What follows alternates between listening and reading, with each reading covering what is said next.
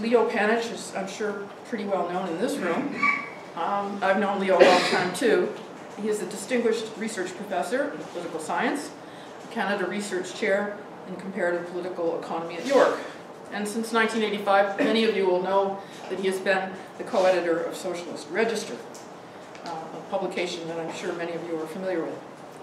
His focus is on global capitalism, which appears in many of his writings, most recently his 2012 book, The Making of Global Capitalism, The Political Economy of American Empire, written with his colleague Sam Gindin, who unfortunately could not be here uh, as scheduled earlier because of a family emergency. And that book has won several prizes, including the Deutscher Memorial Prize in the UK. And Leo is going to talk about socialism and intellectuals in historical perspective, the Canadian example. I'm not going to say anything nice about Brian. Uh, I already did that, as Greg Kealey can attest, at, in Ottawa in June at a Canadian Historical Association panel in his honor. Uh, so that's enough, Brian. Never enough. Uh, Immanuel Wallerstein once came to York University uh, when he was just finishing a report he had been commissioned to do by the Gulbenkian Foundation on the Tower of Babel that had been made of the social sciences. Uh, you know, and he said uh, back in the 19th century there was some mother disciplines, economics, sociology, anthropology. And through the course of the 20th century, and especially after World War II, very heavily sponsored by the American state, you got this explosion of area studies and uh, et cetera, and he listed them all. Uh, a anthropologist at York, Malcolm Blincow, a Marxist anthropologist, uh, got up and said, you've named every intellectual uh, discipline in the world, but you didn't say anything about Marxism. And Wallerstein said, well, you know, until the 1960s, if you were a Marxist, you went into a revolutionary party. You didn't go into the university. So I want to take that as my theme. Uh, in Canada, uh, for a very long time, uh, the universities didn't want you if you were a Marxist. Ferns and Ostry's muckraking book on uh, Mackenzie King tells us that in 1895, a student club had invited a socialist speaker unnamed, uh, and the economist James Mavor, very famous uh, UT economist, uh, barred him from the campus. Uh, I like to think that that speaker was uh, probably Philip Thompson, uh, who you know, has been editor of the Labor Advocate in Toronto since the 1870s, wrote a book called The Politics of Labor, is more in the United States than in Canada. Uh, he was channeling a lot of Chartism still with his uh, calls for recall, uh, etc. Uh, Ian McKay goes through that very nicely. Uh, at that time, uh, in the 1870s, he you know, had some notions, apart from Spencer's notions of evolution of, of labor capital amity, but by the 1990s, he was pretty much into class struggle. But McKay also tells us that at that time in the 90s, he was president of the Toronto Nationalist Club and points to the irony uh, of an American uh, living in Canada uh, being a, as he calls it, socialist nationalist. And, and I think that it's uh, one of the interesting things, as McKay says, that one might think about, and relevant to say with all of you Americans in the room, uh, that being a socialist in Canada also means having a high degree of sensitivity uh, to the American empire and its effects in Canada. Uh, even Trotskyists like Wayne Roberts uh, were known to think that was something that was important to see. Uh, and in Sam's and my book, of course, we talk about the uh, contemporary form of American imperialism around the world being a form of Canadianization, an informal imperialism of uh, incorporation. Okay. Uh, Engels was here in the late 1880s. Visited Niagara. Uh, in fact, once when I was there, I saw his signature. It's no longer there in the old Niagara Falls Museum, uh, which is now closed down.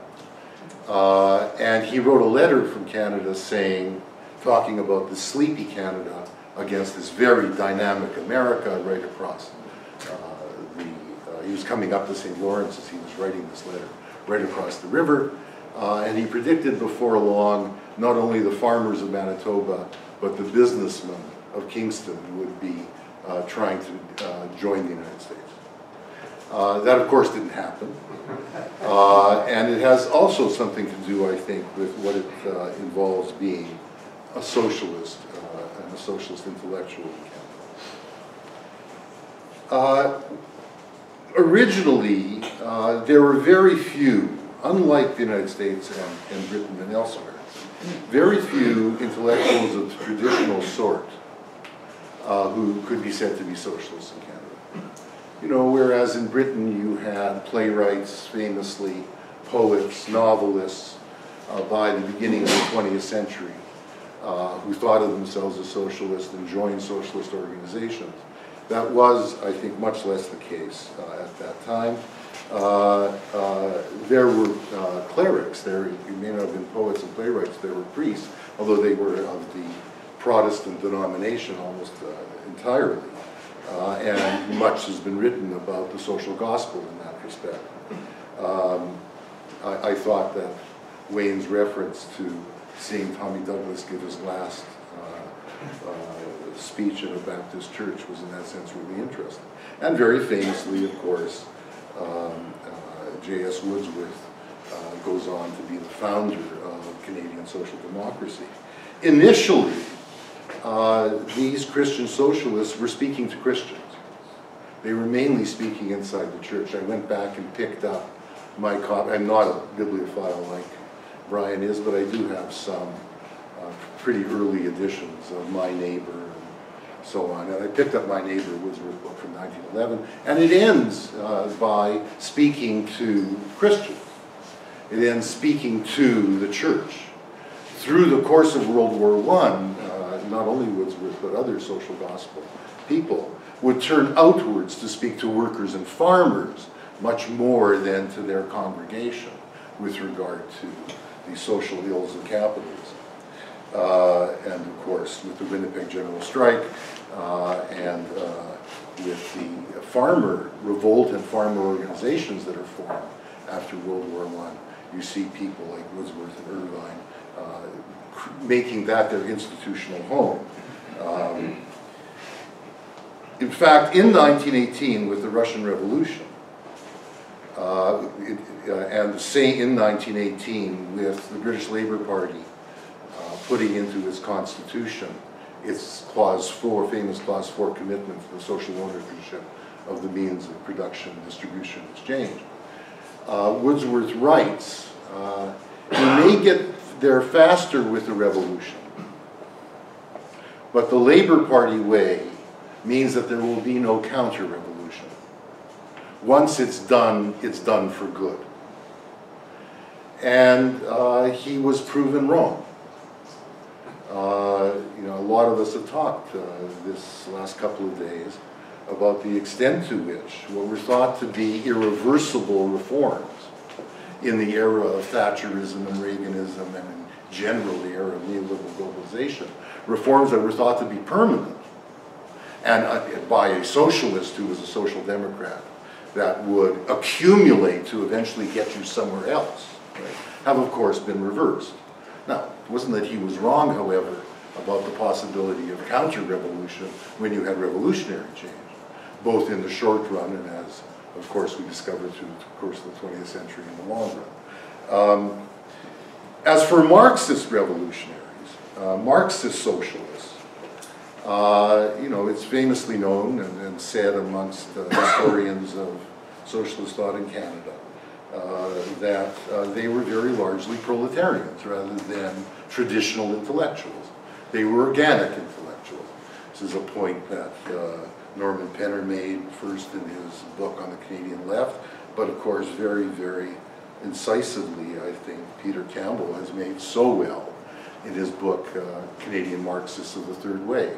I always thought it was an unfortunate title, Peter, coming out just as Blair had been elected. Right? Uh, so it was a bit confusing uh, when we saw the title. Brian's with you on this one. But who he's, who he's talking about, who he's talking about, are uh, the uh, working class, uh, self-educated uh, Marxists, and they're, uh, who populate and lead the Socialist Party of Canada in particular, uh, but continue to have an effect on Canadian politics inside the CCF and CP uh, into the late 40s and early 50s, uh, often in great tension with others in the CP and CCF.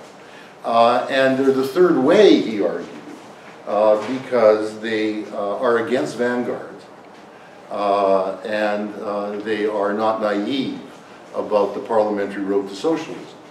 And they look, and I think they are very inspirational in this respect. And, and Peter makes the case very well, I think, that they're based themselves on Marx in this respect. Uh, they look to workers' self-emancipation, workers' self-development, the development of the working class capacity to actually change the world, which involves workers changing themselves. Um, that, and you know, that's not that they leave out the need for leadership, etc., but that's the center of their thought as opposed to a vanguardist, uh, what became known as a Leninist uh, formation. Uh, uh, they were mostly British immigrants, uh, um, uh, and, and Peter uh, studies four of them. But of course, there were other Marxist socialist immigrants uh, who uh, one could and ought to uh, talk about as well. And and some of them were those who we heard about in Montreal, who were creating the independent labor party, usually in individual cities. Uh, uh, so someone like Donald Swartz's, my, my co-author and friend Donald Swartz's grandfather, John Bloomberg, who was a bus driver from Leeds, was uh, one of the key founders of the Independent Labor Party. Winnipeg went on to be uh, mayor of the city eventually. Uh, many more of them, though, uh, were influenced by Marx, and I think in particular uh, of Larry Zolf's father, who was my teacher at the Peretz School, uh, the secular Yiddish school that I went to in Winnipeg. Uh, he published a wonderful uh, two-volume uh, book uh, called A Fremde Erde on Foreign Soil, which has just been translated, well not just, about 10 years ago, translated by a guy called Marty Green, who's a remarkable intellectual in Winnipeg. Uh, and you will start by reading it in English, but by the time you finish the second volume, you will know Yiddish. Uh, and Zolf tells the story uh, of himself in 1917, but by 1905 or 1906, uh, after the Kishinev pogrom, there would have been uh, a lot of Jewish immigrants uh, who had been influenced by Marxism who had come to Canada. Uh, he tells the story in 1917, 1918 of, of having this bewildering choice of which Marxist party to join. Right? Uh, uh, uh, so it's someone like him was more turned to the Jewish community as the social gospel people had been turned to their churches, whether it was Anglican, United Baptist, or whatever.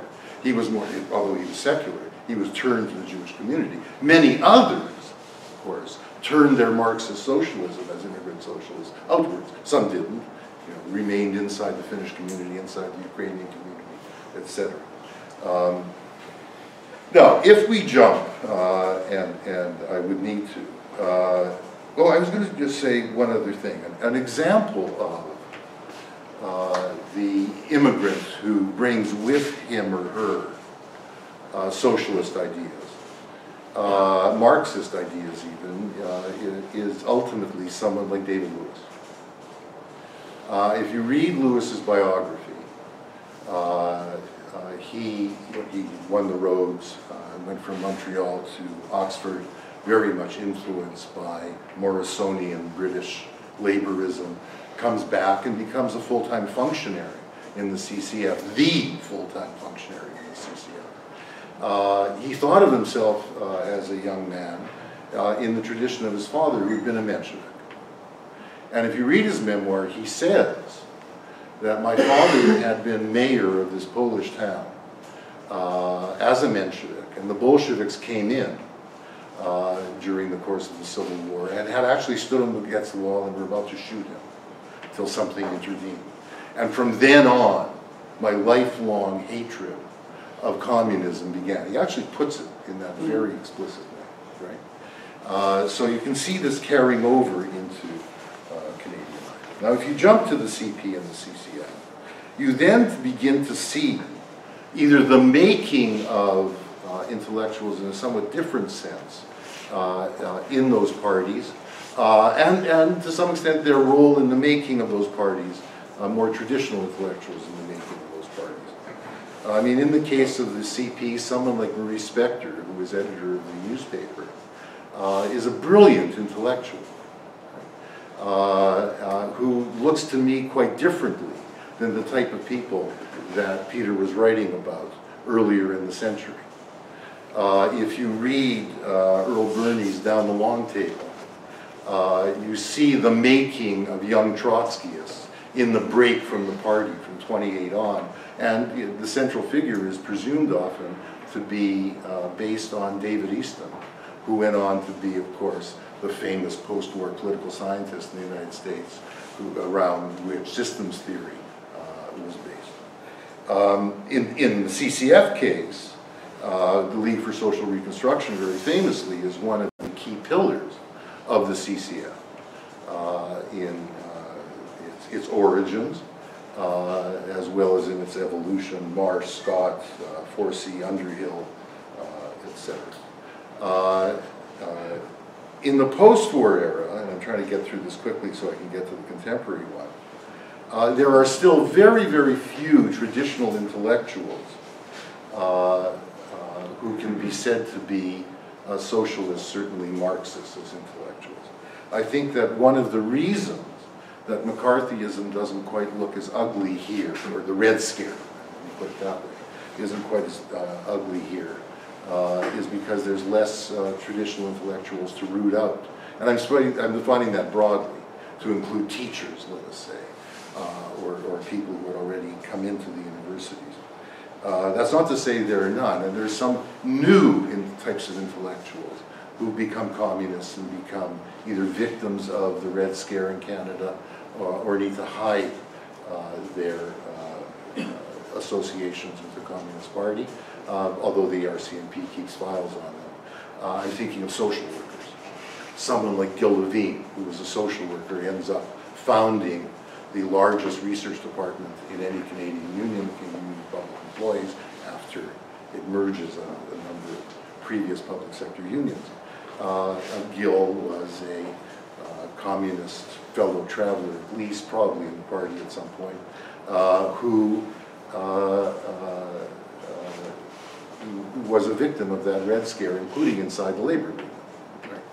Um, uh, Roland Penner tells a lovely story uh, uh, of his brother, Norman. Uh, Jake Penner, of course, was one of the founders of the Canadian. Uh, and they were based in Winnipeg, and then Mennonite family from Manitoba. And he tells a story of Norman in grade school being persecuted by the phys ed teacher who kept calling him a communist. his father was very famous father. Uh, and finally, Norman can't take it anymore, and he knows he's not to go to his dad and complain.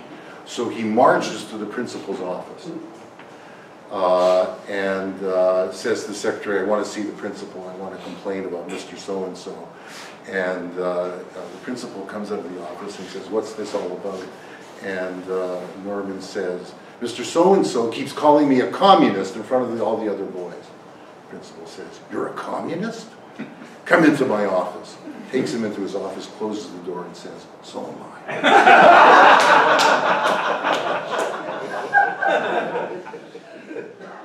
enough.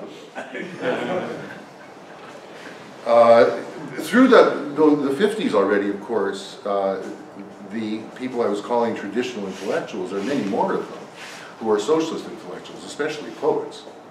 I need hardly, you know, I think, elaborate on that. Uh, But it's true, I think, much more generally. Now, uh, the explosion of the New Left in Canada, and urge everyone who's even not a Canadian to read uh, Brian's book on the 1960s, uh, which is an absolutely marvelous piece of research and writing. Uh, uh, I found very interesting when I went back to the chapter uh, that would be relevant to this in Brian's book on the 60s, uh, that he kind of makes an interesting point that the fl- flowering of Marxism Canada in the 1960s, of a new wave of Marxism, partly is in reaction to the lack of a socialist orientation, certainly a Marxist orientation, on the part of young people in SUPA uh, or the CUCND, some of whom are even red diaper babies, like uh, uh, Liora Salter, who talks about in terms of her community organizing, including in native areas uh, in the 1960s. Uh, and he in particular pulls out an article by Gonick, uh, which is probably written with Jim Harding in mind, but he you know, really goes at this. And I think there's a lot of insight in that. I do think that it was partly in reaction uh, to the activistism, what Doug Henwood and Christian Parenti called activistism uh, of much of the early New Left in, in, in Canada in uh, the 1960s, uh, that helped generate, I think, this wave of Marxist innovation, much of which, of course, appears in the universities. And now, and Wallerstein was right about that, and this, of course, happened elsewhere, uh, you find that if you're a Marxist, if you're a socialist intellectual in particular, that's where you end up, right? Uh, in the universities. Which may be where you start. Uh, uh, you see it in the fact that the challenge to David Lewis uh, in, in, in uh, the NDP comes from a history, a graduate history student at Queen's University, Jim Laxer, right? Uh, and the waffle was very, very, very heavily academics. Uh, that's not to say that it didn't have trade unionists affiliated to it, uh, but the leadership of it, the key manifesto, was very much made up of uh, Marxists or Marxisant uh, people who thought that the NDP was no longer socialist and certainly was no longer anti-imperialist. Um, uh, the flourishing uh, of a variety of socialist thought, and especially Marxist thought, in the universities in the 1970s, uh, I think does need to be registered and recorded. I think it's not just a matter of having uh, in political science a Marxist wing, nor is it just a matter uh, or a wing that does class analysis. It's not a matter of uh, having in history uh, a wing that takes class seriously, wants to look at class formation. No, I think what we were engaged in was trying to make Marxist theory better. It wasn't just discovering it and trying to insert it into these disciplines from which it had been left out, right? I think that more of the project was that Marxism itself, as we had inherited in our generation, was limited. Uh, limited in terms of historical guidance, limited uh, in terms of understanding capitalism in its uh, current phase, etc. Uh, so I think what we were embarked on was not just an insertion of Marxism, Marxism into intellectual life, but it was an attempt to work on Marxism. Uh, uh, and I think that was uh, true uh, even of those who were trying to apply dependency theory you know, that wing of uh, new uh, socialist nationalists uh, that uh, produced uh, capitalism, the national question in Canada, or close the 49th parallel. Right? And when people like myself, who were much more oriented to class analysis, uh, while seeing the importance of that, got into theoretical and historical debates with them, uh, uh, it was again with an attempt of uh, producing a Marxism that didn't simply see the ruling class as determining everything. The Canadian merchant financier being the explanation of Canada's dependency. Uh, it was a matter of trying to get the working class into the historical analysis, to trying to get the balance of class forces into the historical analysis. Uh, similarly, in that class analysis, and I was saying this uh, to Russ Jacoby, uh, you know, as we try to explain the crisis of the crisis of the 70s, not in terms of the inevitable tendency of the rate of profit to fall, but in, in fact, in terms of the class struggles that were squeezing profits as a result of the conditions of full employment and the victories around uh, the social wage, the welfare state in the 1970s, which included then the rise of movements, especially in the women's movement of, the, uh, of others. Uh, uh, we were explaining the profit squeeze uh, in terms of the strength of the working class. Well, the CLC didn't like that much. You know, they much prefer the falling rate of profit thesis because the bourgeoisie was blaming workers for being too militant, pushing wages up, right? That was the cause of the crisis. That's why we had to have wage restraint and incomes policies. Well, if someone from the left came along and said, hey, wait a minute, it, it does have to do with the strength of the working class, uh, with the militant uh, nurses, uh, let alone the militant auto workers. Uh, for a long time, CLC uh, people wouldn't let my students into the CLC to do research. Didn't want to hear this stuff, and even people like Gil Levine didn't like it much. Uh, because it was hard to handle in terms of, you know, God, are, they're saying we're responsible and you're saying we're responsible. Um, but I think that was a matter of trying to improve Marxism and probably improve the way in which socialist intellectuals tried to make themselves useful to the unions. Uh, a lot of the unions didn't think we were being very useful. Uh, now you of course especially saw this, uh, I think in Labor Le Travail, uh, with its enormous contribution to understanding class formation, uh, with the way it appropriated uh, Thompson, but, but I think yesterday's conversation was very useful appropriate in a way that helped us understand Canada uh, in uh, the 20th century uh, as, as uh, much or more than Thompson understood England uh, in the late 18th and, and, early 19th century. Um,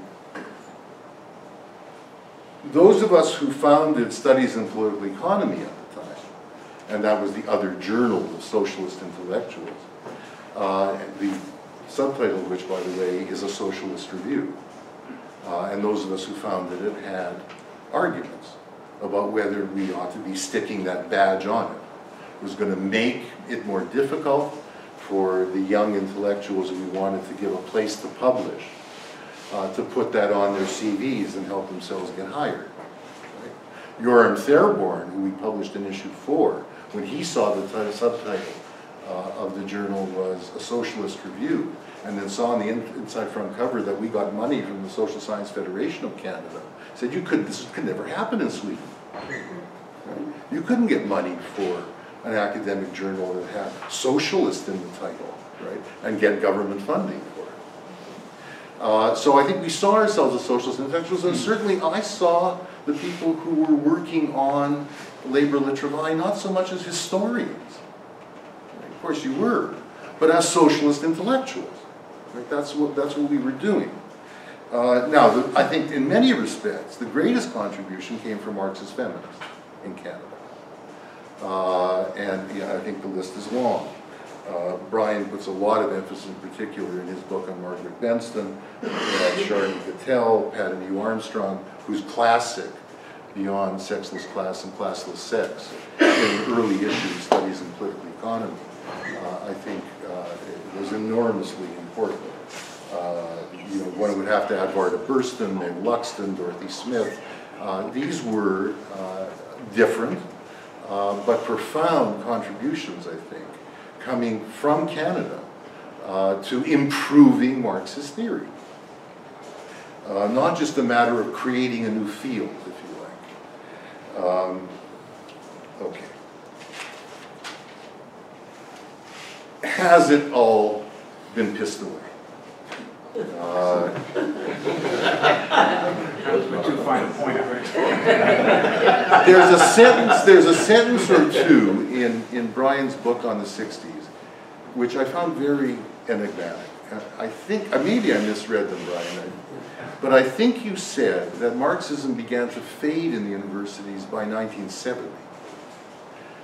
Uh, I don't you may want to go back and look at it, I don't know exactly what you meant. Uh, but certainly, I don't think that's at all the case. I think the flourishing took place, in fact, after nineteen seventy. Uh, and I think, you know, with the founding of Labor and Travail and SPE was all a reflection of that. And, and the explosion of Marxist feminist writing was a reflection of that. Um, uh, I think what's also been the case uh, is that whatever may have happened inside the Canadian Historical Association or is happening inside history departments, whatever may uh, have taken place in the Canadian Political Science Association in terms of there no longer being a wing of it that's a political economy wing, which I must say, it wasn't Marxist intellectuals who were doing, that was mainly Danny Drache. I mean, we never saw as our object transforming the Canadian Political Science Association. Uh, and now, uh, you know, and for a very long time, our main affiliation inside that annual meeting of the Canadian Learned Societies, as they used to be called, we Canadian intellectuals called, used to call those meetings the stupids, rather than the learned. Uh, you know, it's been, the- it's been the Society of Socialist Studies, where we have most of our panels. Now we have all of them, Political Science uh, Association will, doesn't bother with any of our stuff, and we don't bother offering it any stuff. Um, I'm not sure in that sense uh, whether Joan was right yesterday to draw this contrast between uh, what Marxist political economists had achieved inside Canadian political science as opposed to what you guys have or haven't achieved in, uh, in, in uh, the Canadian Historical Association. Uh, But I think another dimension to our success and continuing success, you know, has been our internationalism. Uh, If you contrast uh, the Marxists uh, who uh, preceded us, uh, those, say, spawned by the CP, like Stanley Ryerson, right? Uh, uh, who perhaps stands out above all in terms of a contribution to Canadian uh, writing, uh, historiography, and more uh, uh, as a product of the Communist Party, as an intellectual within it, created by it, etc. Um, the international impact of our generation of Marxists has been much greater. You know, the only exception perhaps is C.B. Macpherson with his, the impact of uh, uh, his marvelous critique of Locke and Hobbes, etc., you know, the possessive individualism book. Uh, but, but it's been much, much greater. And true, and tr- uh, you know, people like Dorothy Smith as well as people like Brian. Uh, and, and we're read much more widely. Uh, than, uh, Harriet Or Friedmann. Harriet Friedmann, of course, uh, going back to the Wallersteinian uh, tradition, of course. Um, More than that, I think uh, we weren't passive. Uh, I, I, in, I pulled out uh, a passage, oh, but I'm losing it, from the preface I wrote to the Canadian State. Can you imagine a book with the title of the Canadian State? uh, would become an academic bestseller. Uh, This is a book I edited and wrote in- wrote in in 1977, published at University of Toronto Press. And it sold tens of thousands of copies, was used in a lot of courses, et cetera, et cetera. And uh, uh, in the preface, I said, of course, one must be cautious, cautiously avoid the illusion that by virtue of its strengths alone, a Marxist theory of the state will gain prominence. The rise and fall of theories is not merely the product of intellectual competition, with the most fruitful coming out on top. the acceptance of any particular theory and conceptual elements rests on some consensus amongst intellectuals with regard to the importance of the significant problems it identifies. On the identification of those problems, questions of interest as well as objectivity, ideological hegemony as well as academic freedom will inevitably play their part. Most important of all will be the question of whether the generation of Marxist theory itself will continue to be divorced from the working class in Canada. For without a working class helping to identify the significant problems by its own actions, and taking up cultural as well as political and economic struggle by re-examining its history and developing a theory and practice for, for, future change, Marxist theory will lack a social base, which is finally the sine qua non for the sustenance of any body of ideas. Uh, so I think, and it, uh, people were alluding to this yesterday, of course, but we weren't passive as socialist intellectuals in this respect. And I think we then need to ask ourselves, what happened to our politics? Because we were trying actually to do this, right? Uh, our generation, uh, and I'd say this very broadly, even those who went into the Communist Party, people like Frank Cunningham, people like Barb Cameron, people like Phyllis Clark, you know, they weren't trying to reproduce Tim Buck's party. Far from it. Uh, but it was certainly true uh, of people who uh, uh, sought to find a better Leninist party, most of whom were Trotskyists, right? And it was certainly true of those of us who very deliberately were not Leninists because of the 21 Theses, uh, in part, because we didn't accept democratic centralism uh, or, or uh, as Lenin defined it, uh, or the 21 Theses, or dual power uh, as, as strategic, as strategic guides. Uh, this explains that, you know, Brian ends up writing a biography of Cannon. Uh, insofar as I've written a biography, it's with Tony Benn, chapter two of the End of Parliamentary Socialism book. And in both cases, Brian is engaged, as someone said yesterday, in a critical dialogue with Cannon, and I was with Benn in the sense of saying you can't change the Labour Party from a lumbering elephant into a gazelle. Uh, but the admiration was there uh, precisely for the attempt to go beyond social democracy, as others were trying to go beyond the CP, uh, in creating a different type of party oriented to what someone here called today non-reformist reforms, or structural reforms. Right? Um, and how did we do? Well, uh, if you give me a few more minutes, uh, Two. okay. Uh, maybe that's all it's worth. Um, uh, we seeded, uh, certainly those of us uh, who were in the movement for independent socialist Canada, which was the waffle after it was expelled from the NDP. I was, I've never been a member of the NDP. I am not now, nor have I ever been, uh, or any other social democratic party. Um, uh, I, and I only joined uh, the movement of independent socialist Canada when I discovered there were a lot of working class militants in it. People like Bill Walsh, Alan Mary Campbell, et cetera, et cetera.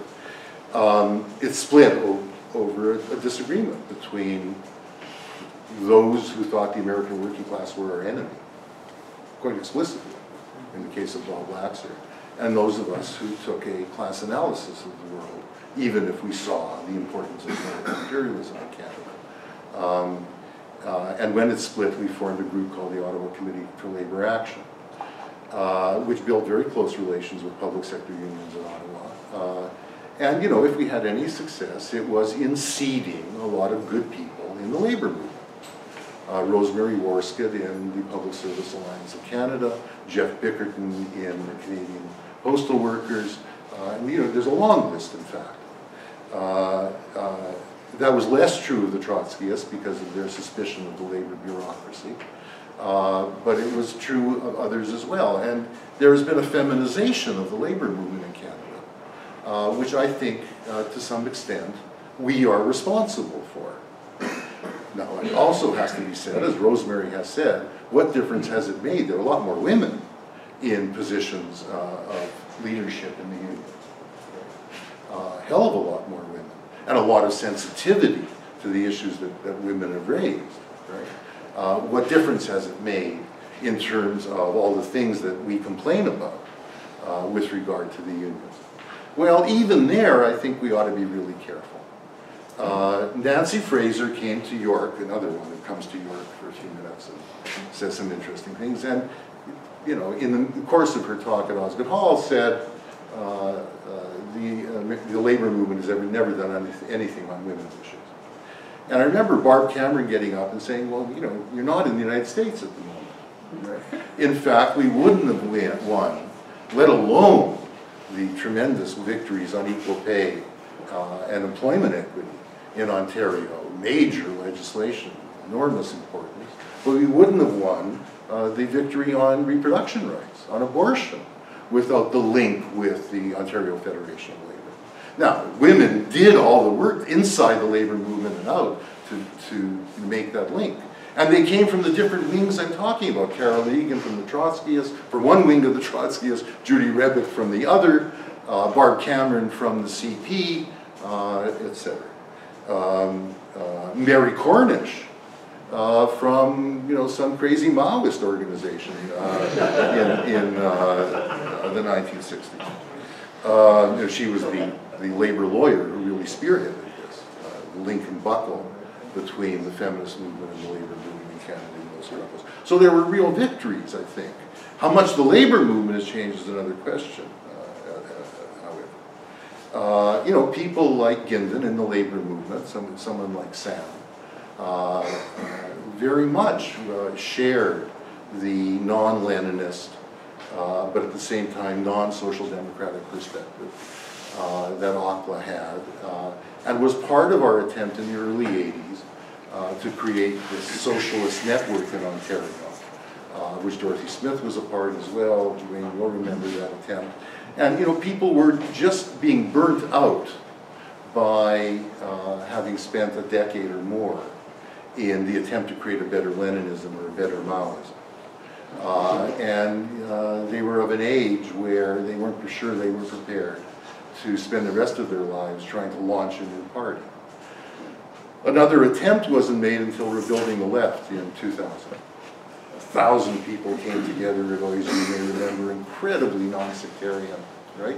Even the socialist feminists uh, were non-sectarian in the sense of, at the time of the 83 meeting that OCLA organized, socialist feminists came along quite rightly and said, well, we don't trust you guys. Uh, we really don't, you say you're feminist, but you're not. That wasn't even there in 2000. But that collapsed on the basis of uh, not any sectarianism, but on the zeitgeist of anarchism uh, that the anti-globalization movement uh, so much represented. Understandably, this anti-party feeling, uh, given uh, what the failures of parties through the 20th century, socialist parties through the 20th century. But you couldn't, out of that meeting, you couldn't have an elected executive, uh, you couldn't have individual membership, uh, and you know, the next meeting had 300, the one after that had 200, and it just got pissed away. You know, people were showing up primarily in order to see who could pay for the next bus to the next demo. Right? Uh, now, I'll just end with this. Um, uh, Wayne, a number of times, has said, well, look, given the limits of what you can do if you get into the state, uh, shouldn't we be trying to do stuff ourselves in society, in civil society? And I think, as someone said, this is a false polarization. Uh, you referred to the limitations of Greece, uh, uh, and, and I think rightly. Uh, but ultimately, what Syriza foundered on uh, was it, its understanding, as it put it in, in the conclusion to its political resolution, its 20-page political re- resolution in 2013 when it turned itself into a party of an electoral alliance. It said, you know, the party is not a slingshot uh, that throws its leaders into the state and leaves them there. Uh, uh, the party is an element in a multidimensional, catalytic, diverse movement of subversion. And we will not be able to accomplish what we're promising in this manifesto unless we're able to help generate this movement of subversion. And they did very little to generate it in the months they were there in, in power between the two elections. You can understand it as you walk into the state and you're trying to find out how the hell this bloody department operates, it, especially when it's a corrupt state on top of it all. Uh, but it was that inability to generate that movement right, uh, that I think restricted their own conception of how much society would take. So it, it's got to be the capacity at, yes, a local and regional level uh, to create a, an ability, a capacity on the part of people you're mobilizing, speaking to, etc., to engage themselves in thinking about different ways of producing and consuming, different ways of reproducing, producing and consuming. Uh, but there's no way they're going to be able to implement those uh, without being able, at some point, to take state power, to change the nature of the state apparatus, uh, and, and uh, shift resources to those kinds of projects. Uh, so I'm convinced that in this irrational, increasingly in egalitarian capitalism of the 21st century, we're going to see repeated attempts to found better socialist parties. I'm convinced of it. I'm not convinced they won't continually fail. But what scares me, I have to admit, and this goes back to the Wallerstein point. Ernie and I and Gindin and Albo and a number of others are still involved in the socialist project in Toronto. And uh, there are some young, uh, or not so young, and Rapanchi would consider himself young, he's key to the whole project. Uh, people who are more organic intellectuals of the type that you saw at the beginning of the 20th century, Panchi's one of them. There are some who come as university PhD students to this project. One of them is even American, but admires all this stuff going on in Canada that's not going on in the States. And I keep wondering to myself, do I need to say to this guy, no, you know, stay in the university as a Marxist intellectual? Uh, because the odds against being successful in creating a socialist party aren't great. And even though you're likely to be uh, a peripatetic academic, uh, someone who won't have a stable academic job, uh, you'll still be earning more uh, than if you're stuck in the attempt to create a socialist party. So there's the irony, there's the contradiction. Do you want to say to a young person, be a Marxist in the university? Or do you want to say, knowing all the sacrifices that the people that Peter wrote about engaged, engaged in, uh, do you want to say to them, take the risk and throw yourself full time into being an intellectual of the kind that creates a party? Certainly, I think we have to say our generation failed, but we weren't very good at organizing.